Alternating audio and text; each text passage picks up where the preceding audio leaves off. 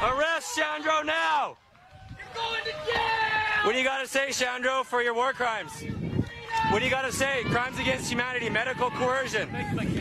You made a lot of kids cry, buddy.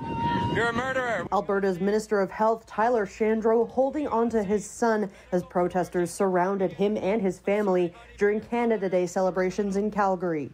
The protesters yelling insults and directing some of the abuse towards Shandro's children. I'm sorry, buddy, but your father is a war criminal. The minister eventually handed his children to onlookers over a fence. Lock Shandro up! Lock Shandro up! Before turning to comfort his crying wife. The minister called it an unfortunate way for people to be expressing their opinions.